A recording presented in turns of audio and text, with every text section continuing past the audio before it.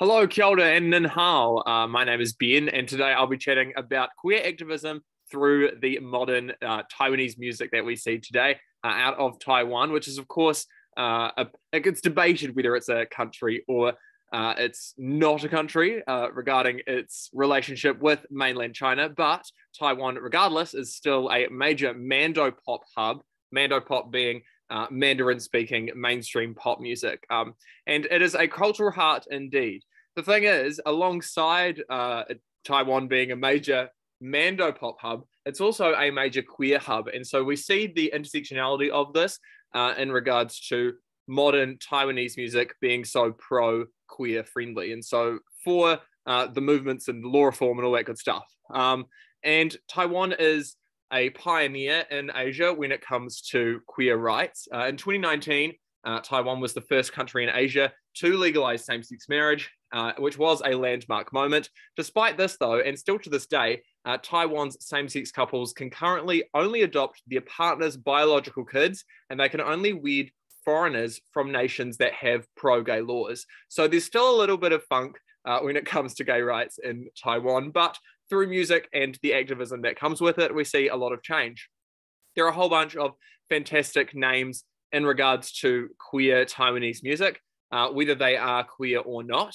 Uh, some of the major ones, A-mei. Uh, A-mei is the queen of Mando pop. She's also known as what Asian Beyonce to some, uh, but she has some fantastic queer anthems like Rainbow and Love is Everything.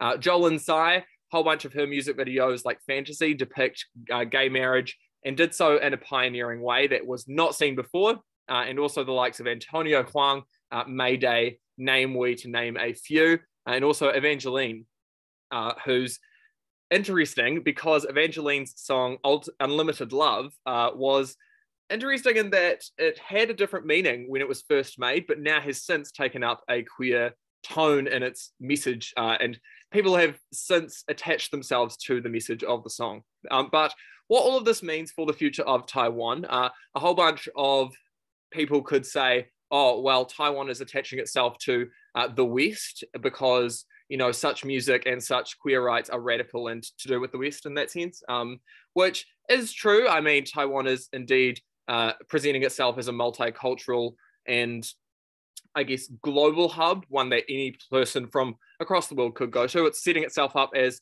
uh, a heart in the Sinophone world as well, because as I say, intersectionalities, a whole bunch of different people from all walks of life can call Taiwan home. Uh, but I expect to see more Taiwanese music with an activist uh, background, with political agendas.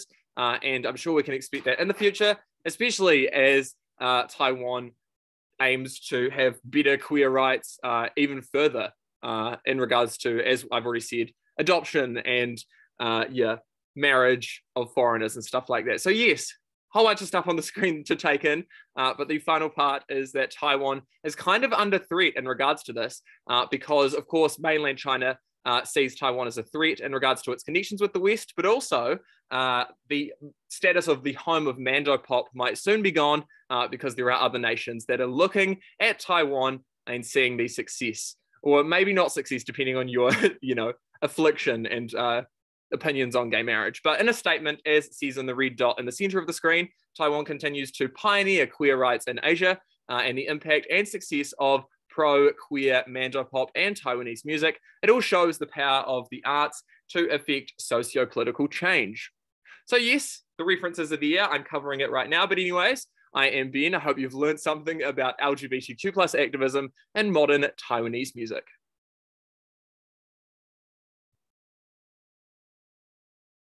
Ta-da.